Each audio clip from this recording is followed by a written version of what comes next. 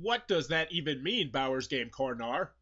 Ahoy there, YouTube! I'm back here today for something a little bit different. I'll be doing a gameplay impression video for Zpocalypse 2 Defend the Burbs from Greenbrier Games. So Greenbrier Games reached out to me, they were like, hey, we got this Kickstarter running for Zpocalypse 2, do you want to check it out? Was like, yeah, absolutely I want to check it out. So we played it over Tabletop Simulator, which is something I was completely new to. Uh, and we played the introductory scenario of the game where we're trying to lock down a safe house uh, to keep it safe, obviously, for ourselves and potentially even rescue some survivors who would join our group.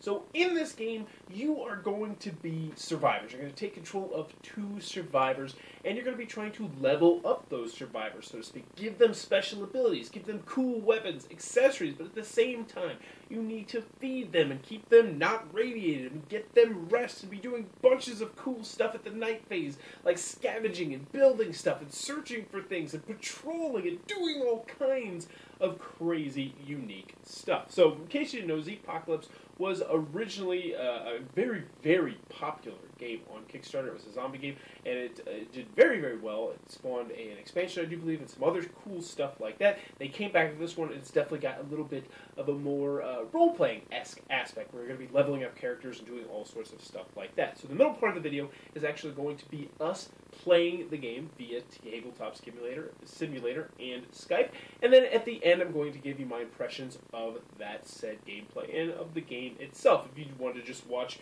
uh, the middle part or the watch the end part, you can go ahead and skip to whichever part you like because, well, I'm not the boss of you. So let's go ahead and watch it. Or don't, because like I said, I'm not the boss of you. Unless you're my son. Then you should be in bed.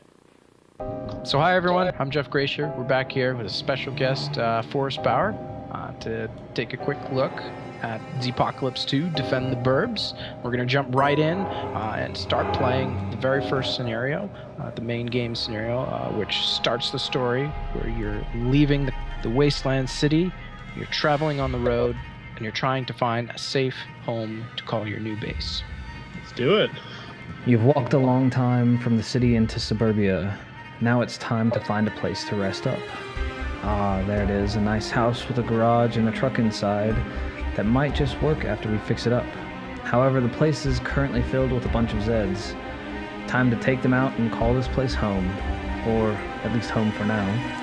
Wait, what is that? Screams coming from the second floor. Someone opens a window and yells out, Please help, we're trapped. The objective here is to clear all the zombies on the map. When the last zombie is killed, combat ends. Zombies' ob- objective is to bust down the doors and have a tasty dinner. Regardless if the zombies kill the helpless survivors, your job is to take them all out. Okay, so we've already gone through the setup here, put uh, the zombies down on the map according to the rules, and put uh, two helpless survivors on the second story. The way to get to the second story is taking the staircase up into the hallway uh, to try to take out the two zombies that are there. Okay. Are they the, the, the little yellow arrows, I'm assuming? Good question. So the yellow arrows on the map are going to represent yield spaces. When you or zombies step on a yellow square, it's going to cost two movement points instead of a single movement point. In order to make it up to the second floor, uh, you need just walk up the stairs, and you're going to be magically transported onto the second floor story tile, uh, which is represented right to the side. There is a wall which is barricading the door right now. At the start of the zombie's turn, whoever's in first place is going to roll 2d6, which is represented right here. If they roll two successes, which are a 5 or a 6, then the door will be busted down, and on their next turn, they'll move and attack the survivors. Okay. So, in order to kick this off, we're going to roll to see who goes first. So, I'll go ahead and zoom down here. Everyone grab a die. Tony, grab a die. Right, blue. Three. Two twos and a three. Three. Ah. Yeah. Forrest, it looks like you're going first. Sweet. So I'm going to give you a quick rundown here of combat. Combat is a two action game. You can move, you can attack, or you can search the map. On your turn, you can do any one of those combinations move, attack, search, in any order you would like. Right now, there's a couple zombies in front of us. It's our job to move up there and attack them. Uh, they will move and attack us because they are within line of sight. Otherwise, the zombies will take the shortest path to the stairs here to move up to the s- second story where the screams are coming from the helpless survivors. All right. So they're not coming for us. They're coming for them. They're going for them unless they see us. Okay. We're intelligent enough to yell at them and go, "Hey, over here! Come after us. We have weapons." so you're up first. And you said I take. I can do all the actions, but in any order I want. Correct. So I would suggest you take one step forward and then swing the two weapons that you have. All right. So. So you're gonna take two dice, two red dice. I'm gonna put one on top of that weapon, one on top of that weapon. You're gonna pick up both dice and roll them at the exact same time. Your job is to get either a five or a six. Here, I'll make it easy for you. Yep, there you go. Give it a good roll. That was a horrible roll. Try that again. Throw it across the table or something. there we go. And the results weren't any, any better. no. That's what we call a big whiff. All right. So I, I missed on my attack, so now I can do the uh, scavenge. Is that what's? You moved as your first action. As your Yep. second action, you attacked. So your turn is actually over. Oh, okay. You can do two of the three. Yep. Okay. So clockwise around the table would be you, Tony. You get to go first. Come save me. See if you do any better. If we look at Tony's weapons real quick, he has uh, a crowbar and a nightstick. But he is untrained in melee with both of his survivors, so he's only going to get one die apiece. So again, two dice, success of five or six. Ooh, that's the common common numbers there.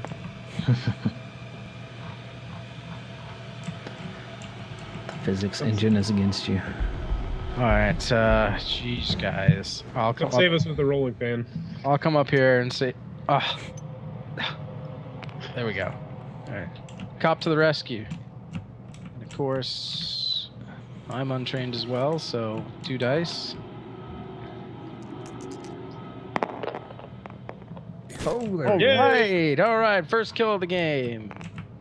Every time you kill a zombie, you get a victory point. Now you said scavenging was an option. Do you have it to be in a specific locale for that? if you were going to choose the scavenging action, you do have to be in a specific location, uh, such as uh, right in front of you is a location for scavenging items.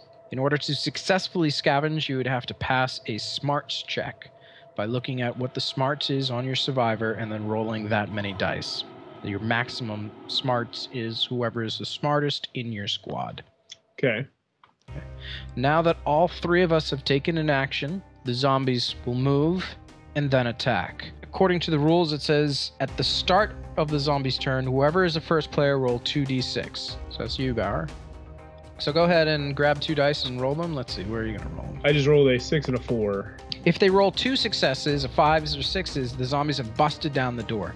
Thank goodness Oh. they've yet to bust down the door. They're, they're still safe. Okay, so that's for the zombies I just rolled. Gotcha. Oh, okay. Yeah, the zombies get to move it. They move total of three squares. So one, two. No, he'd see you. So one, two, three. Oh, Someone's gonna get munched on, Tony, I believe. so these are um. Two. Okay, so these squares. Okay, I'm seeing it now. I thought they were bigger squares, but no, there's. Okay, so that's four squares right there. Where my finger is. Yes. Correct. Okay. So Tony, you're gonna get attacked. First of all, is a holdback roll. For each survivor you have, you're gonna have to roll a single die. In this case, he has two survivors, so therefore he gets to roll two dice. For every five or six he rolls, he will prevent prevent a zombie from attacking him. Right now, there's only one zombie in front of him. So if he gets at least a single five or six, the zombie will not even get a chance to roll damage. He did not. So here, I'll roll blue die to represent the, the zombie coming and attacking you. Okay. Three. And Tony's armor happens to be, if we look at his two survivors, the combined total is two. So therefore, he takes one point of damage, and he can decide whether to assign it to Survivor 1 or Survivor 2. That is the end of the zombie's turn. Now, Forrest, it would be your turn.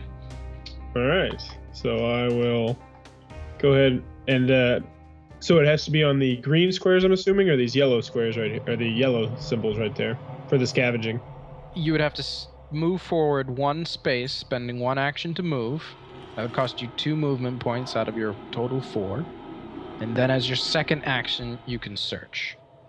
And is there on? Do you have to do it on a specific spot though? I'm seeing all the little symbols on the board. Yes, that is a very specific spot. The resolution isn't as good as it could be in tabletop here, but you can kind of see how it says search item Oh yeah, now I see it. bag. Yep. Okay, yes, I would like to scavenge. And you have a smarts of two, so go ahead and again grab two dice and try to get a five or six. All right. Yeah. Okay, that is an item. So I'm gonna grab you an item card, whoosh, flip it over. Hey, ammo. And I'm also gonna reach into the bag and I'm gonna grab a search token. Okay. Oh, that's not good news. To what? To what do you think? Okay.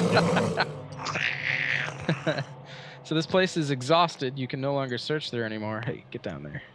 And two zombies happen to show up right next to you. And I don't have any more actions. All right. So we're gonna use this green zombie here to represent two zombies. Oh, I can see him. Yeah, we're, we're gonna say he shows up right there behind you. So Tony, you're getting attacked by a single zombie, and two zombies actually popped up right next to us. This actually isn't looking very good for us, Tony.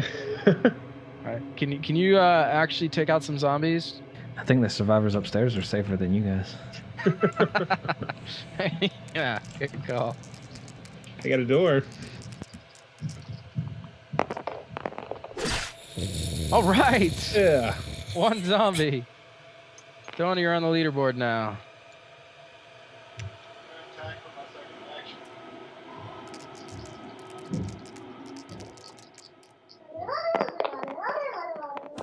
Yay! Oh, two zombies. I assume the one right here, the double zombie. You gonna take him out? You just Okay. me, Tony, thank you. Thank you. And you are blue. So one, two. You're at three points now. So now it's my turn. You know, I'm gonna go one, two, three. I'm gonna move right up there to attack those two. Totally bad move, but let's see. Hey, I got at least one of them down. All right, so you took out one of the zombies, and now I'm rolling for the door right now, correct? Correct. All right. So we're hoping for anything but fives and sixes. Ooh. That's Okay. okay. That's okay. They need they needed to get two. So the door is holding. Last time I played the game, the door went on the first turn. It was pretty bloody. But we can still win. But I'm uh, I'm assuming since this is kind of episodic, like if we could rescue them, they join our group or something like that. You are absolutely correct. Cool, cool. Yes. Yes. I've not actually played a scenario-based game, but they've always sounded really neat. So now that you've uh, rolled to make sure that the door held up, let's go ahead and move the zombies. Uh, this one's gonna just move closer to me to attack me, and this one, because he sees me, is also gonna move right on top. Ugh. No, it's it's in our best interest to stay together, correct? Or, or how does this working exactly? Are we competitive? Are we cooperative? Or are we a combination of both? Uh, the scenario is actually written to be cooperative, but we do like to loosely t- use the term cooperative and say cooperative-ish. Um, you could be selfish and say run over to the tool shed and search for weapons at the, the workbench over there, uh, and leave Tony and I high and dry.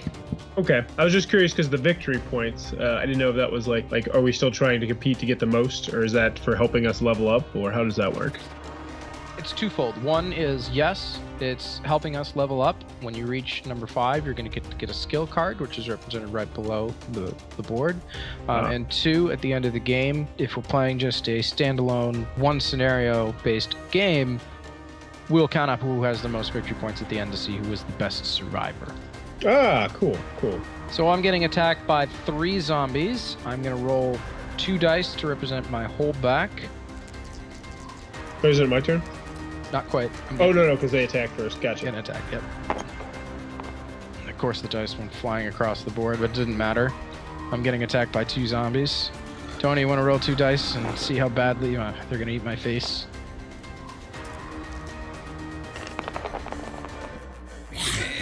Oh, that was close. Yep. Five. I can take five points of damage. My armor is three, so I actually take two points of damage. So let me go ahead and set this guy to. And you can spread that between both your survivors, right? Yes, I can. Uh, what are the biohazard symbols? When you step on a radiation symbol, you'll cough a little bit, and your hit points will actually go down by one for every icon that you step on. So that's both the radiation and the biohazard. So right now it won't impact me, but later on potentially it could if I eat bad food. Yes, yes. We haven't gotten into the consumption of food yet. Uh, that'll happen in after combat when we get into the planning board. Well, Okay. you- you'd still get you'd, you'd get the initial point of damage walking over any of those types of terrain, and then also if you ate any food, you'd become irradiated if it was rad food. Okay. All right. I will go ahead and go one. I'm gonna go one, two, three. Blue. Oh no. And go right there, and then. Oh. Per- per- perfect time for me to explain the no access sign is literally no access, meaning you can't, you can't. Oh, okay. I didn't know if that was a line of sight thing. Okay, so I will go. Oh. oh yeah, yeah, we're we're totally fighting it out. So no diagonals, orthogonally. Oh yes, you may move diagonally. And can we share the same space? We cannot share the same space, but you could move through me and say end up right over here. All right. I will go right there. Use three movements, and I will attack. Roll those two dice. Well, right now our survivors are pretty weak. Uh, we have starting weapons, which are impromptu sort of weapons. Over time, we'll be able to potentially even craft better weapons or Yeah. make them better over time.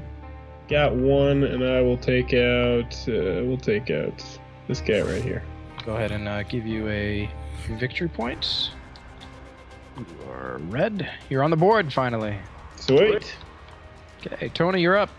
And Tony will magically take his turn here. So he takes a point of damage, right, for stepping on the, stepping on that spot. Yes, I take a point of damage. Your survivors really need some flavor text. And uh, all of our survivors uh, have zero flavor text. Oh no, I, I was Yeah. just making a joke because it said needs flavor text.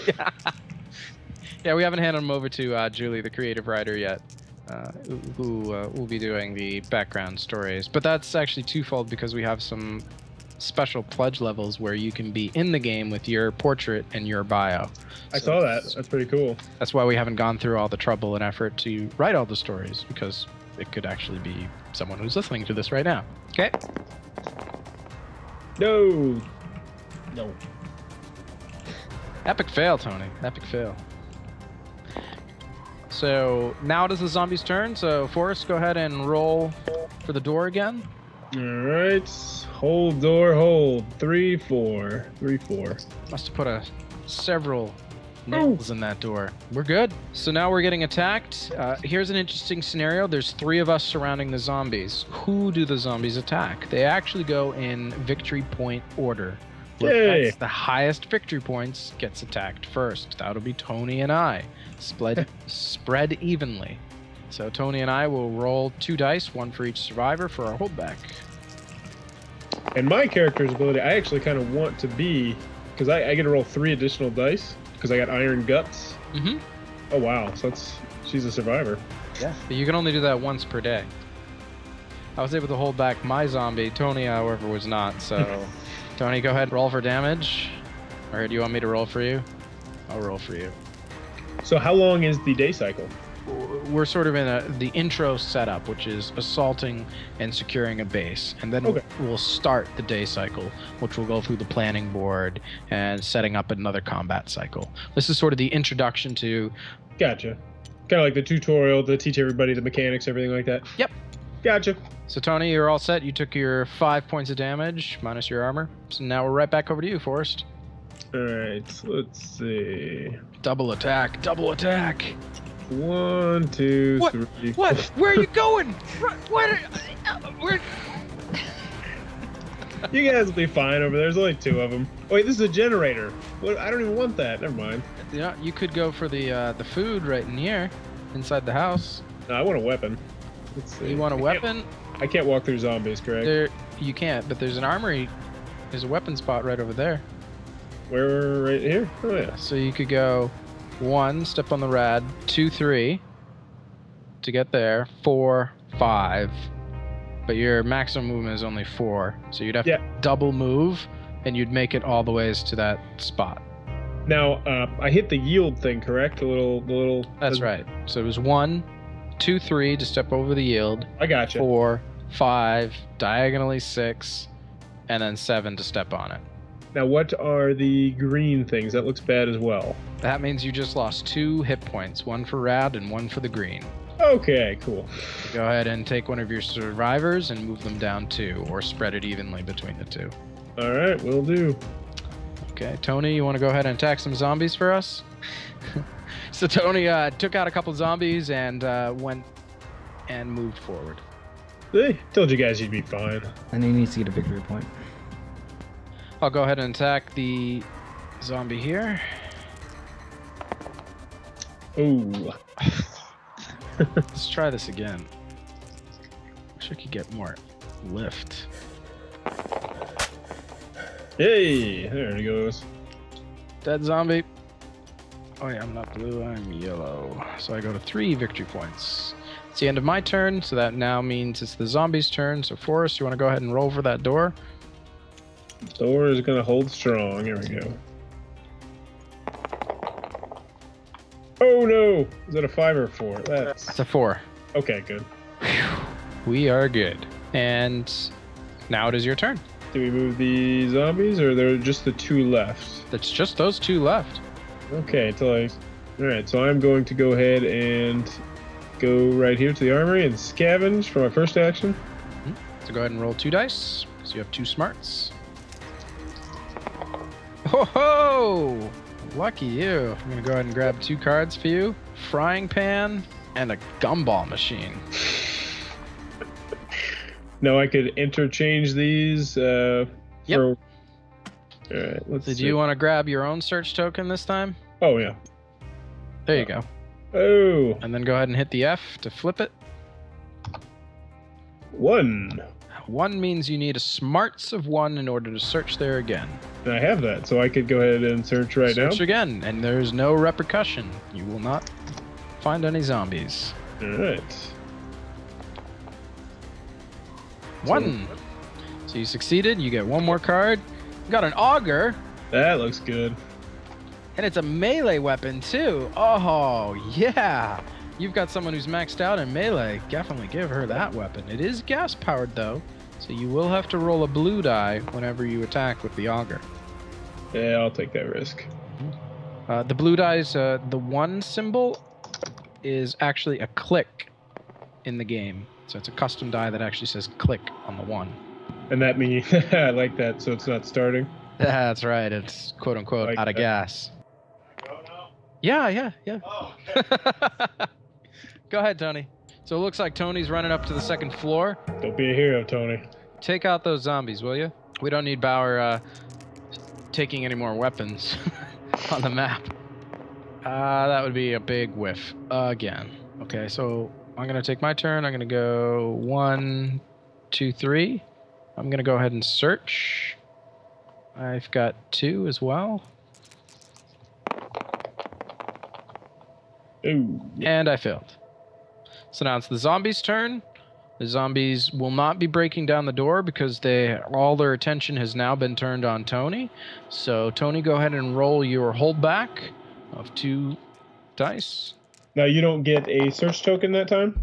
I didn't succeed. Oh, so it's only okay. Mm-hmm. So Tony did roll a five, so he held back one out of two zombies. I'm gonna pick up a blue die here and roll for your damage. And Oh, that's that's that's a cocked dice. Cocked dice. Let, let- let me re-roll that. Yeah. There you go, Tony. How about two? Is that better? What's your armor? Two. Armor's two. All right, he's good. He's he's got this. Let's go. Let's go scavenge the map. Make sure this place is. wa- Wait a minute. What's this guy back here at the pool? He's been hanging out there the whole entire time. One, oh yeah. two, three. We totally forgot about him. He's coming for you now. I'm gonna hog this guy. I'm gonna Surprise, a zombie. So it's my turn. Yep. And I go one And I will attack with uh, the two die. Actually, it's more than two now. Oh, yeah, because I got two, the- three. And go ahead and roll one blue at the same time. Oh, so the blue. So two reds and one blue? Yep. If you notice down on the bottom left-hand corner of your card, you actually have a blue die that represents your click die. Got it. And so that one, I don't want to see a, a click or a one. But it's it's still uh, yeah, it's still three red and one blue Oh, because you get to use two weapons, one for So this is going to be a real failure if I don't do this. Gentle touch. I got one. I got him though. you right? got him. You got him. That's what matters. Uh, okay, you got two victory points now. So Tony, take out the last two zombies. And that's one of them. And Tony has reached five victory points on the victory tra- point track. And with this starting scenario, every five victory points that you gain, you'll get to draw one of the skill cards in the alleyway below. If you are not satisfied with any of the skill cards that are in the alleyway, you may draw the top skill card, but you have to keep it. So he does have there's first aid training out there, there's melee, and then there's also kung fu master, where your punches will inflict five or Z. So he's gonna he's gonna grab the melee card, and I'll go ahead and resupply with another first aid card. Who shuffled this deck? Okay, so Tony's taking his first action, his second action, attack again, and take out that last zombie. Let's end this. Whoa, flying dice, Double twos. but no good. Okay, the zombie. Wait, uh, I take my turn, so I'm gonna go one oh I'm on the search food. Oh yeah, I'm gonna search. Grab two dice.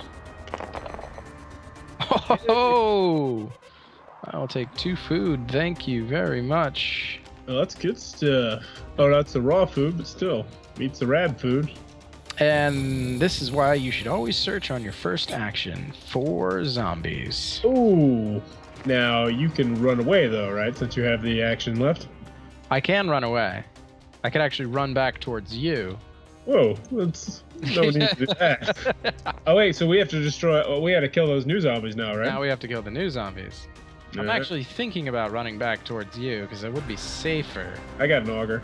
We, we can take care of them. Yeah, I'm actually gonna do that. I'm gonna go one, two, three, four, five. It's got move in a five. Now the zombies will attack and move. So I'll move these zombies while Tony, you roll your hold back. One, two, three. One, two, three. Okay, so where were we? We just did the. Okay, the zombies moved, and we're right back to Forrest. You're up. All right, so let's see. Can I get to a zombie? One, two, three, four. I can. So I'm gonna go. One, two, three, four, and it's auger time.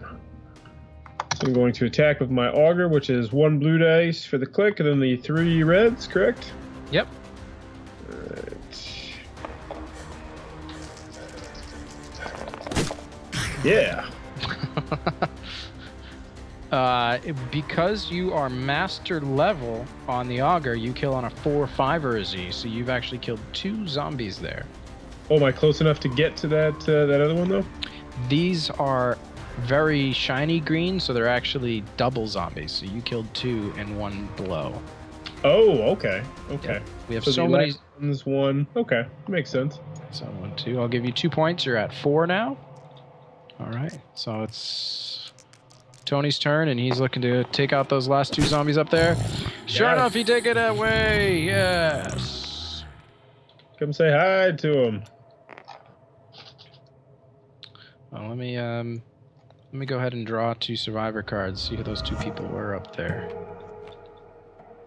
Is that a butcher knife? And uh, what what is in her other hand? These are the original Apocalypse models. Uh, ah, We have. She has a kitchen knife and a stiletto heel. Ah, I was wondering what that was. Yeah, yeah. the models have been extremely reduced in size and quality just so they work Oh, yeah. with Tabletop Simulator. So Tony has come down to help us out with the last remaining zombie, and uh, sure enough, I'm gonna be brave, and I'm gonna go step right in front of the door, and I'm gonna use my two dice, and I'm gonna try to steal these last kill from you, Bower. And Oh, super. so what does that mean? I'm getting attacked now by those two zombies. I didn't hold anything back. Here, Bower, you want to roll? Would you like to roll two dice to see how much damage is coming my Oh, way? two of them. All right. Two, yeah. Yeah, that's good, right? The 12? Oh, no, no, I no. just roll that. Please don't roll double sixes. No, I didn't roll that. All I right. So, trying to. For some reason, it keeps going, trying to go to the text for me. It's bugging me. There we go. That's better, right? Nine? Nine? I- I'll take. Uh, whoops. Uh, that was a four. Alright. I'll take nine. I can deal with that. My. My armor is three, so that's. Ow. Alright, so I'm gonna do three points on this guy. He's down to one. And then three on this guy. One, two, three. So I am definitely hurting. I got one guy bleeding out here. Bower, help, please. So this zombie is not going to come any closer. He's he's focused on you right now, correct? Yes. So my one attack is going to have to do it. All right. So. Fortunately, you are not going to be able to attack from there Ah. because that is through a doorway. You can see the red one, lines. Two, three, four. There's no way I can get to him, can I? Oh no, right here. You can go through the window. Oh, there's a window. Okay. Yep. Do it. Pop Do like a flying ninja action with your auger straight into the zombie. All right. So I'm gonna roll these guys right here, and I'm rolling a zombie. Hey, it adds to the flair. oh, Got him. he is definitely dead. Two more points for you. And that is going to bring you up to five, which will allow you to get one of the skill points. Oh, I wanted that melee. Well, you could draw a random one off the top. You actually you moved you moved your points up. He's actually at six. Whoa, whoa, what? What? There you go. I grab one and pull it over. So you got to do the quick pull again.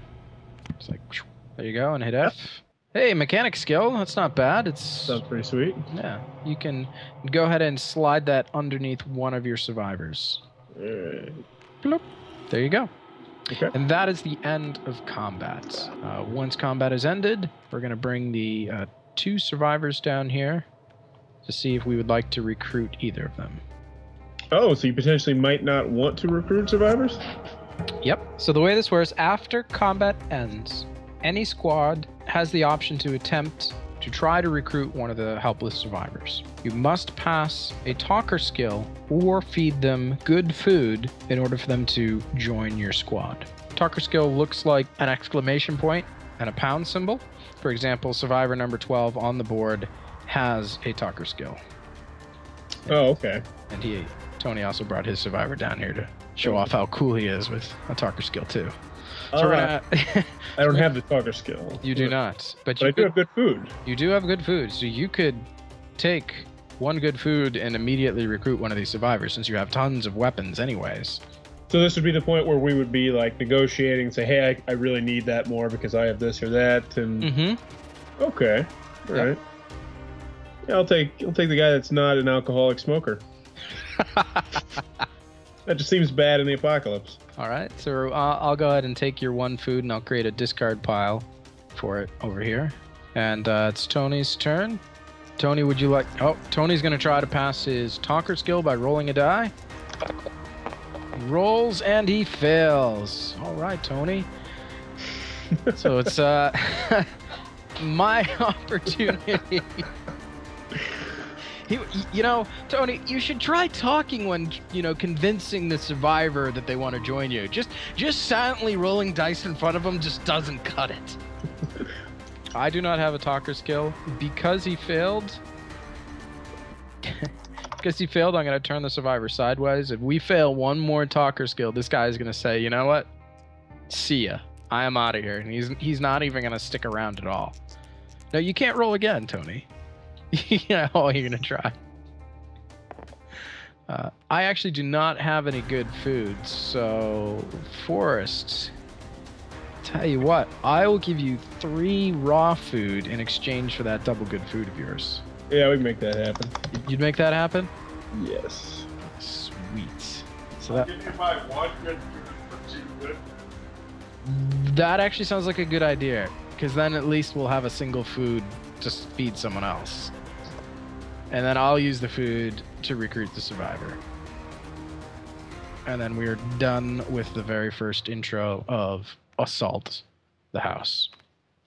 The first part of the game, which is the intro scenario, uh, where you assault and capture a safe house. Uh, we've now been in this safe house for a little bit of time, and it's our job to go out there and scavenge for food and supplies, build fortifications, put a couple people on either patrol or lookout, and then finally rest at the end of the day. After all of that, we will draw a Something's Happening card. Something's Happening usually is not very good. From the Something's Happening card, we will determine if zombies are assaulting our base tonight or not. Hmm. So let's just jump right in here. So first thing we're going to do right here in the morning is we're going to assign our daily tasks for defending the safe house. Uh, this requires the control of the safe house, which we already done. Very first thing we're going to do is determine the start player. Player who has the least victory points on the victory point tracker is going to be the first player. Uh, so that'll be yellow, uh, and then it will go in clockwise order around the board. Okay. So in this scenario, uh, an example, what we're going to do is we're going to walk through one day of us assigning all of our survivors to these different tasks uh, uh, to give a good example of how the game would play. Okay. Okay. Now, are we uh, are we deviating our survivors on either one, two, three, or four, or do we do one at a time? But we're going to do them one at a time. Okay. Okay, Okay, in the first phase, we're actually going to get a chance to go out and scavenge for food and supplies. The number of survivors that we send cumulatively, as in all of us who decide to go out there, will help determine whether we'll be successful or not successful at bringing back uh, a number of supplies and or more survivors. Uh, the truck spot allows extra locations for us to put survivors down, and it also opens up these far north, far west, far east, and far south. In a different scenario, our objective would be to go to one of these end locations, so to speak, and follow the guidelines in the scenario for uh, traveling to that distant location. But we would need a truck to do that, and that would cost gas. And okay. So in the build phase, you're going to do exactly what it sounds like. You're going to get to build different things.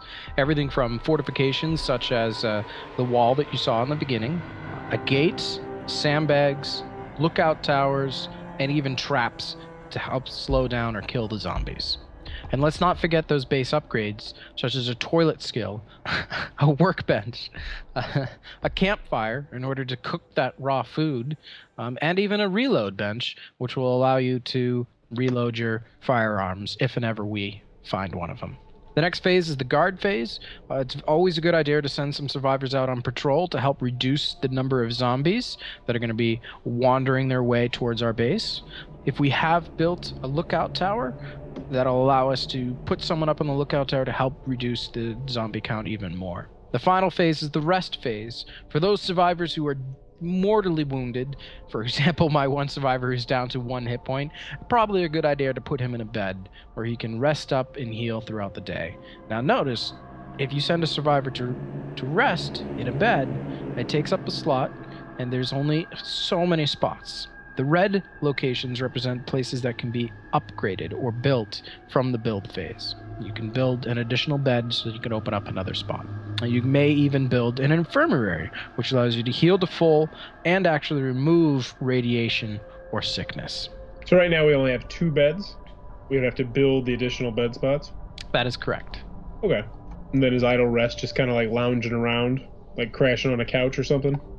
Yeah, so the idle rest is if you don't have enough space, as in beds, to, to rest, you can at least go to idle rest. But you're still shuffling around, you're making noise, you're not as quiet, you're not sleeping, so that's more than likely going to draw some zombies there, and that's where you can see the plus red hand. Oh, I see. So that's the hand. So I've got a question. Um, so if your character dies, is he is he just dead? If your character dies, he is not just dead. There are multiple ways that um, he can die. There's actually two ways that he can die. One in combat, if you are attacked and two Z's happen to show up, is called a bite. It's a gushing wound, and your survivor dies on the spot and actually rises and turns as a zombie right next to you. Mm. The second way to die is if your hit points go all the ways down to zero for that single survivor. But you could still recruit another survivor. Yes. Is there ever could both of your survivors die, and that's really really bad? I'm assuming. Oh yeah. Yes, you you can wipe. So if you say upgrade one guy and then he dies, all your upgrades are gone. Your That's right. All right. Okay, so let's jump right into uh, assigning tasks here. Uh, I'll go ahead and go first, and uh, I'll go. I'll take the leader location for the scavenge, and I am going to send survivor number three, and I'm going to represent that he is scavenging by turning my chit to face scavenging, just so I remember that yes, I sent survivor number three scavenging. And uh, go ahead, Bower. You can choose a location to go to. You do have several wood and scrap. Might be a good idea to send the person who has mechanics skill to build. Yeah, so- Or you could send the guy who has mechanics, sneak, and firearms to go scavenge. Might be a good idea to have that variety of skills for the scavenging tech. So I think I would uh, go right there. Yep. All right. Then go down to him and put him as a builder. and just use the Q and E key to to denote that he's building. And Tony, you want to go ahead and select? He's gonna take his survivor and go scavenging. Great idea. And I do have some scrap and some booze, but you know what? I really want to make sure that we pass this scavenging check. So I'm gonna send two survivors out scavenging. So I'm gonna go ahead and grab another one of my chits and put him down on scavenging. All right. So uh, I'll go ahead and patrol since we don't have anybody doing that. And is there? So I put it down here, correct? Start off with. Yep. I'd highly recommend sending at least one survivor scavenging. All right. Now we send the guy with the auger because is there a particular guy that would be better to send patrolling? Uh, your your melee girl sounds great. Send her. She's got a two on melee. Oh, I was saying put her out for scavenging, and then the other guy guarding. So you can just swap these two. So how many scenarios are there going to be? Right now, we're planning for uh, at least four different scenarios, but uh, we're looking to adjust uh, the something's happening cards to be actually 28 specific cards, and each card re- would represent a different day in the game, allowing you to play campaign light version of the game and see if you can survive 28 days, and Uh, following the storyline along those 28 days. is that 28 a particular number? I'm assuming. it actually relates to 28 days later. I, I figured. So it looks like everybody's assigned. Although I don't think Tony can't be in that other scavenge spot, correct? Because that's four players That's- plus. Four plus players. oh, okay. So to- Tony, you will have to assign your second survivor somewhere else. I'm in pretty good health. Yeah, Jeff, you, you guys are kind of munched up. Uh, yeah, I'm gonna die during combat. I'm gonna. You have one more token to place too, because you got three guys. Oh shoot. Yeah, I'm gonna swap these two. Say this guy's gonna go rest. So what if we do not have a toilet? How does that work? Just out of curiosity. Oh, that's a toilet still. You can create booze with the toilet still by Ah, by taking two food and putting it in the toilet still. so that would probably make that alcoholic happy. That's right. and that is cool. Now that all of our survivors are assigned, we're going to go ahead and go one phase at a time through each of them. First, the scavenging phase. So the leader is going to get to choose the scavenging direction. Player first chose to go scavenging gets to decide which direction the scavenging party should go to look for resources. Once a direction has been chosen, the leader will roll a 1d6 to determine which location was found in that direction. So I'm going to determine, as being the leader, that we are going to go northwest. So I'm going to grab a red die, go ahead and roll a die, and sure enough, I get a five. And Sean, if you would read, uh, it was a five, so you're going to be reading the pet store. The pet store. It ain't fancy, but the pet store has food. This thought may have grossed you out before the zombie apocalypse, but then there was that time when your brother dared you. So, you know for a fact that the biscuits aren't all that bad. Inside are all the puppies. Oh, but these aren't the cute, friendly kind. These are the feral, eaten the weak, kill strangers on sight kind. You see, they've cornered someone, and while you probably should just shoot them, well, you watched Old Yeller one too many times as a kid. You just can't. So, do you loot while they're preoccupied, or do you try and see if they remember? Sit and stay. So, you've got two options do some quiet shopping, which would require a stealth check, or you can pull off some dog whisperer moves, which requires a talker check. So do we individually decide, or do you decide as the leader, or how does that work? So the way this works, the leader breaks ties. So we as a group decide which we are better equipped at trying to face the situation. If we cannot decide as a group, the leader will break the tie and have the final say. So But you pick though, right? Because you have two yellows and you're the leader. So you can pick what you want, right? well, no, we still have to vote as a group. For example, I have one guy who's good at talking. Oh, Okay. okay. Tony, I know you sent someone. Is it the guy who's the talker? You sent the sneaker. Okay, so I have two. you have two sneak? Yes. We should loot and sneak. No, I have one. It's just one. Yes, Sorry, upside down. just one. I also that same guy has sneak as well, so that's that's good for us. What about the one survivor that you sent? Uh, and the girl who has melee. So she's gonna have no help. help at all. So here's our options. We can either roll two dice and try to get a five or a six. Why two dice? Uh, for a five or a six is because I have one sneak, Tony has one sneak. This is where you see the number of symbols comes in. Okay. Or we can say, you know what? Let's not do that. And we can roll what we call for the dumb bunny clause. Anybody who doesn't have the symbol still gets to roll a die, but they succeed only on a six. So we'd be rolling three dice essentially. No matter what, we, we're still going to get to roll four dice because we have four survivors. Oh yeah. Just our odds change. And what the other option is, we try to speak to them, which would be We'd only have one die that would succeed on a five or a six, and the rest of them all sixes. well. This seems uh, this seems like an obvious choice. Let's try and sneak past those dogs. Oh, okay, let's sneak about this out. So everyone grab the die. I'm gonna grab two for my people. So I'm gonna roll two dice. And Six. where? Wait. Nope. Oh! All right, I got it. So we need to go to option one. Do something quiet. Go to stealth ID number 36. So I'll I- flip to the back of the rule book. Yep, I've got it. Success. You don't owe that person a darn thing. Once you've filled up with cans and bags, though, you shoot up in the air to scatter the pack and give the survivor just enough time to escape. Yeah. Fantastic. Goodies. Time for some goodies. So first of all, before we even look at the loot, let's see. We got a five, we got a four, we got a three, and what was the one other die that we rolled? I believe I got a four on my bunny bunny foo foo die, or what was it called? The dumb bunny clause. Dumb bunny. Mine was a four. Here's one unique mechanic about the game. The five is a, sus- a success, so we'll put that to the side. But then we count the number of symbols on the remaining dice. This is how many zombies that we attracted in our travels. Oh, good. So this is 8, 9, 10, 11. So the Z is actually going to go right up to 11. So that's how many zombies are wandering around our base tonight and who may come back to our base to assault it.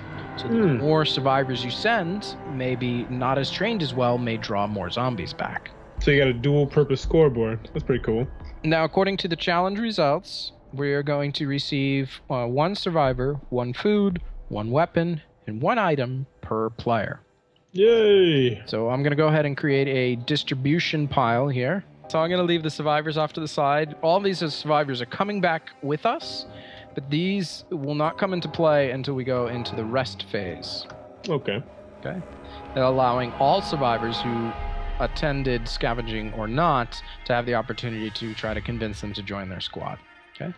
Now, uh, the way the dis- distribution of loot goes is we'll go turn order, select a card, one per For- player, Yeah, there's only three players. because I can't count. Okay, the way loot distribution works is here's the pool. We're gonna go in turn order and select a single card and, and put it in front of us until all the cards are taken. So I have a guy who is definitely trained in firearms. I love firearms. I'm gonna grab a firearm. Bower, what would you like to grab? I'll take the sneakers. Sneaker sounds great. Actually, you know what? I'm gonna take the backpack instead. Good call. That seems pretty good. Tony? Taking the good food. I'll go for raw food. No, I'll get those sneakers. Go for the sneakers. Need the weapon. I'm gonna grab first aid. Forced. There you go. And there we go. Okay, all the cards have been distributed. Wow, Forrest, you've got a lot of stuff. you are doing great. All right, so my backpack says it increases my capacity to four. Uh, how how does that work? Max capacity by four. So each survivor can carry four total cards. Oh, so I'm doing. I got plenty now. Okay. Yep, doing great. So that concludes scavenging. And now we're going to move on to the build phase. And Bower, you are the only person who has a character in the build phase. All right. So you have three scrap and three wood. Okay. Looking over at the helper cards over here, we can see that with your one survivor, you could build a barbed wire trap. Now, could you guys give me something potentially to help? Oh, yes. Like, for example, the campfire requires a lighter or a smarts check. And I believe Tony has a lighter. So he could lend you the lighter, allow you to build a campfire, which will be great because then we could turn our raw food into good food. Yeah, let's try and do that. Okay. Uh, so some of the distribution numbers have changed here in the, the latest uh, playtest. Uh, so you're actually going to get three victory points for that. Score. Okay, so you are red. One, two, three. I'm going to give you three victory points. You're at nine. So I'm one away from getting another skill card. Yep, you do have to change. You probably take this dual wood and scrap. We'll go ahead and discard that for you. And lastly, we're going to go ahead and grab a campfire token, and we're going to set this on the second floor someplace safe in the corner. That does not seem safe at all. someplace where the zombies won't trample on it and put it out. Oh, so they can go over that? Yes. Oh, that's cool. Yep. You're going to want to protect all of your base upgrades. So this is going to be our central hub. Like if we were playing more scenarios, that would be our central hub for a while. That's right. Yep. Gotcha. That's pretty cool. All right, you've gone ahead and built, so we're going to move on to the next phase, which is the guard phase. In the guard phase, you did patrol. So uh, because you're on patrol, the zombie count is going to go down by one. So the Z is actually going to move down to 10. Yay! Normally, when you build something, you roll a mechanics check, and if you fail, the number of zombies will follow you back to the number of victory points that you earned for building. So in this case, three zombies would follow you back, unless you pass a mechanics check. So the zombies will go up by three. We should probably have, since you have a mechanic skill of one, go ahead and roll a red die and try to get a five or a six. Sadly, no. So the zombies will move up by three. One, two, three. So the zombies are now on 13. Then we go to the last phase, which is the rest phase. So the rest phase is broken into three parts. There's uh, rest, survivor recruitment, and feeding time. The very first thing is mandatory for all survivors who did not choose to allocate a survivor during the downtime phase or rest in a bed must flip their task allocation token over to the fatigued side. Okay. Ooh. So all of their survivors hit the little F key and flip them over to need food or need rest. Tony and I are the only exclusion to this. Because of bed rest, each safe house starts with two beds on the second floor. Additional beds may be constructed during the build phase. Bed rest heals your HP damage, but does not cure radiation or biosickness. And bed rest also removes fatigue. Tony, you can take your one survivor and also give them six additional hit points up to their maximum. So in my case, I just go right up to six. Okay, next we're gonna go to uh, infirmary, which we don't have in infirmary. Idle rest. There's no one in idle rest, so we go to survivor recruitment. So we're going to go ahead and grab the survivors. We're going to form an alleyway. Going in turn order, we can decide to try to recruit the survivors. Just- I love Yeah. that dog name. Well, the first dog in uh, the original Zpocalypse was named Princess, so Ah, it only made sense to call this one Princess too, at least for now until we figure out uh, what to name her. I like I like that name. It remind it actually reminded me of The Simpsons, how they just named their cat Snowball One, Snowball Two. right, so I'm gonna roll my talker skill, and I'm gonna target uh, this guy over here on the end. Okay, I'm gonna try to recruit him. Ugh. Ooh, there it goes. All right, he will join my squad, and I'll go ahead and put him down. Bower. That guy seems like a no-brainer. He seems really useful. hmm So I am rolling. I need to get a six since I don't have a talk skill, That is correct. and I don't have any regular food. You don't have a talk skill, and you don't have any regular food, so six. Yeah, I didn't want you anyway. Okay, I'll turn him sideways to show that he's currently pissed off. Tony, you uh, want to try recruiting someone? Who are you going for the dog? You going for princess? He's going for princess. He's going for princess, and it's uh. I, I, I, I don't. I don't think that counts. I don't think that counts. Go ahead and roll that one again. Flying across the board. Tilted. Tilted, roll again. Come on, you, you can get this. And yay! Yes. And I'm gonna pass on this guy. Oh, I'm gonna piss him off. Oh, here. you're gonna piss him off? Oh! Oh! Oh no, I need a six. Oh yeah, you're. Well, this guy is so pissed off he leaves, and he not only leaves, he leaves the game. he was a good. He was a good one too. Yeah. He ate raw food. Maybe the zombie count goes up by one because he gets munched by those roaming zombies. I don't know. but he left. That'd be thematic. It would be. Would be. Last thing, uh, we got to make sure that the new incoming survivor is marked also fatigued. And then the very fast last thing we do here is the feeding time. All players at this time feed any survivors they control who did not take the downtime task to remove their fatigue status. If you So- eat rad food, you're going to need to take rad token, reducing your hit point. If you eat raw food, Now, even with the fire, I'm still eating raw food. with the fire, it allows you to turn two raw food into a single good food. Which, by the way, that's different than what the helper card says over there because that's outdated. So essentially, I I'm going to be oh, but then I wouldn't feed any, but I'd have one that wouldn't be fe- fed, would I? Yes, that's correct. In combat, fatigue means that that survivor can only take one action. If you have any survivors in your squad who are fatigued, that means your whole squad may only move once. The other survivors, however, in your squad may uh, make an attack after you move. Alright, so I would most likely cook this food and give it to my auger gal, and then That will gain you a victory point. and the other two are going to be just hungry. Okay, I'm gonna go ahead and cook my two raw food and eat my one good food.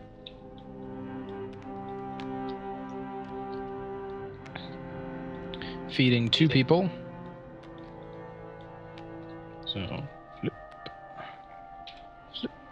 And I'm gonna leave my last guy hungry. And Tony, you're turning in some food. food. Oh yeah, the dog can eat raw food, right? Does it say she can eat raw food? That's awesome. Okay, so we have completed all the phases. The last, very last thing for us to do is to draw the something's happening card before we start the next day. Now this will determine whether or not we have combat tonight. Okay, it is possible that you could not have combat tonight.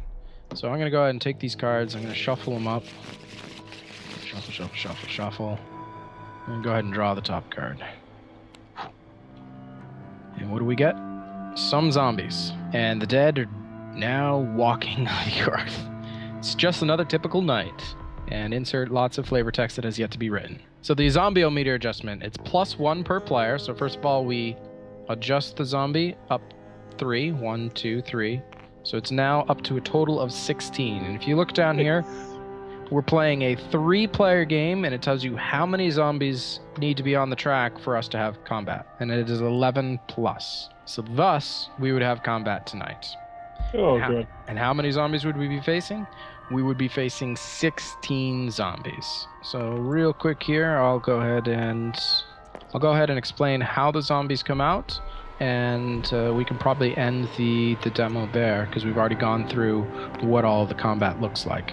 Okay. So the way zombies come out, they there's four different locations where the zombies can spawn. Um, you grab a die and you roll in each one of the locations until you reach the maximum number of zombies that need to come out. In this case, there would be six out there, two there, two there, four there. So that's 10, 11, 12, 13, 14. So, and we have a total of lots of zombies 16 zombies. Now, how do you know they spawn over there? There's a little uh, spawn token in the corner here, Oh, okay. like west, east. That's where the Gotcha. zombies come from. Yep, and that's determined by the scenario. Now, another question I noticed earlier: um, the tunnel entrances do those connect to each other? Yes, they do. Cool. Yep. So if you run out to one of the tunnel entrances, you can, sure enough, pop out the next, the other one. Uh, we're hoping that uh, we do reach a stretch goal in Kickstarter that'll allow us to put the the basement and the attic in, which in the basement will have a connection out to the sewer system as well. Nice. So that pretty much concludes the demo. Right here, we would put a bunch of zombies down on the map, and we would be assaulted with the zombies. The one objective of the zombies would be to, of course, kill us, um, or get up into the second floor and wreak havoc on our upgrades. Uh, since there are no helpless survivors uh, resting on the the second floor, they would be driven only to us, as in mechanically, they would just come right for us. It Okay. our objective to take them out. So that's pretty much a great wrap up. Uh, good demo. Uh, do you guys ha- do you have any questions? No, I just uh, I, I it looks really really cool. Like I would uh, so I'm just curious. Like it seems like there's a lot of replayability here. Like you said, there was six different locations for each of the northwest, the far north, all that sort of stuff. Mhm. And those are going to come up different every time you do it, pretty much. Then you got the different events, different survivors. Um, that sounds really cool. Yeah. And it's two to five players. Two to five players. You want to press the button? Yeah. So do I just just, just hit it? You just hit it. it it's gonna go nuts. It really is. Oh! What? Oh, Great Dokri, Z Apocalypse 2 Defend the Burbs from Greenbrier Games. What are my thoughts on the game after after just playing the little introductory thing? Um, my initial thought after playing it was, wow, I want to play more. Um, there is just so much cool stuff to talk about in this game that I liked an awful lot. I'm a big fan of the episodic content. Of, of playing, you know, for, for an hour or two or whatever the time length is, and then putting it down and then coming back and having survivors that, that, that are your survivors, that are your customized survivors with the weapons that you wanted and the skills that you picked out because you leveled up, maybe by cooking food or fixing something or doing this or killing zombies or doing that. And and I like that an awful lot. I also liked how the victory point system worked because you you don't just get victory points for killing zombies or for doing something like this or doing that. You get it for doing a lot of different things. There's tons of different ways to score points. So when you're recruiting survivors, you might be like, hey, this guy might be able to cook some stew or do this or do that, which is going to help me gain victory points, which can make him even more powerful. So I liked that an awful lot.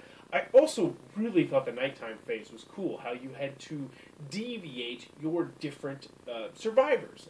You, so okay, we can't all just be scavenging for food. Some of us need to rest. Some of us need to be building something. Some of us need to be out, you know, outposted looking for zombies so they won't attack us in the middle of the night in our new safe house. I also liked the tower defense aspect of this, where you're gonna have your central location and you need to defend that location or else well bad things are going to be happening um, what else do I like about the game? As you can tell, I really have a positive impression after just the short, well, not short, but the one gameplay of this that I was able to do. Uh, I really liked the fact that you had your you you were able to recruit the survivors. That was really really cool, and you could recruit them in different ways. And if you screw up when you're trying to talk to them, they'll potentially just walk away. And, and I like how there was bartering along it. Like, hey, no, no, no, let you let me talk to him because I have good communication skills. And like, no, I want the survivor in my group. Like, well, I'll throw you a raw food if you're willing to do that. I really like the bartering, that sort of aspect. And I think, especially, eh, we played in a three-player game. We obviously just played the introductory scenario, but I imagine when you get down into the nitty gritty, you're getting near death and just bad stuff is happening. That bartering is really just gonna pop. Like, all right, all right, fine. I will give you this Uzi I have right now, but I really need this food tonight, bro. Come on, uh, let, help me out here. And, and I like that sort of aspect. It seemed really, really cool. Um, it seemed like there was a lot of different s- stuff that could happen on a given scenario too, which was really cool. I think they said there's going to be tons. I- don't remember exactly what the numbers, but there's going to be tons of different locations that you can explore and different events that are going to happen each and every night, which are going to have different outcomes and lots of different, which is always a good thing. You want variability in a game like this. Um, they, they're already funded on Kickstarter. They're talking. They he was telling me about some cool Kickstarter stretch goals they had in mind. I'm not going to reveal anything in case it's supposed to be secret. Uh, but needless to say, it sounded really freaking cool. Um, so, Zpocalypse 2 Defend the Burbs. Me personally, I was floored. It seemed awesome. It seemed fun. It didn't seem too complicated either. That was one thing I really like. It didn't seem fiddly at all. It didn't seem like, oh, that seems kind of weird. It all seemed pretty well streamlined. It had some really cool ideas, and this is definitely one that I would love to explore some more. So that is Zpocalypse 2 Defend the Burbs from Greenbrier Games. It is on Kickstarter right now. I'll be sure to post the Kickstarter link below. If you enjoyed this video, please be sure to click on the subscribe button below and in the comments below. Let me know. Do you like games with episodic content? Or do you like games where you just play it and then go to something else? Or do you like to come back to the game and then continue on with the storyline? Me personally, I like both, but I really like that continuing sort of story arc. I think that's a really cool idea. I like TV shows like that where like it doesn't just jump from one point to the next point to the next point, where it's actually just one big long story. Uh, so let me know in the comments below which do you prefer. And as always, thanks for your time, YouTube.